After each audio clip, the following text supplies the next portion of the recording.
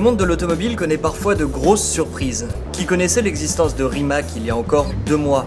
Cet obscur constructeur croate présente pourtant à Francfort un concept car de folie censé battre tous les records avec ses 1088 chevaux. Excusez du peu.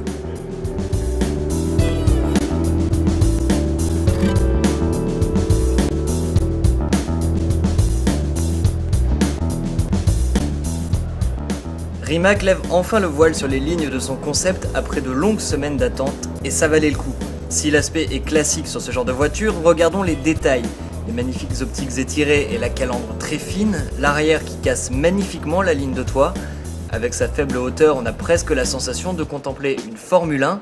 Les lignes sont en tout cas abouties et suscitent instantanément le désir.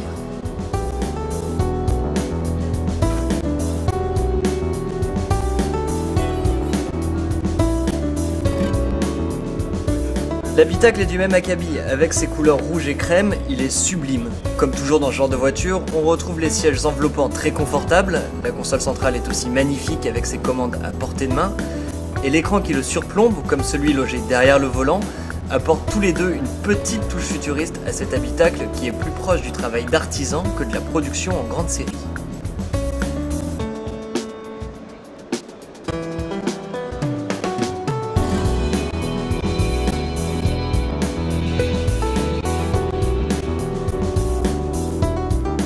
La fiche technique de la Rimac Concept donne le tournis 1088 chevaux, 2 secondes 8 pour le 0 à 100, une vitesse max de 305 km/h, tout cela en électrique pour une autonomie de 600 km.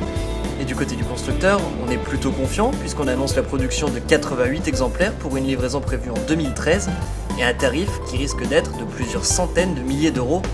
Alors coup de génie ou coup de pub?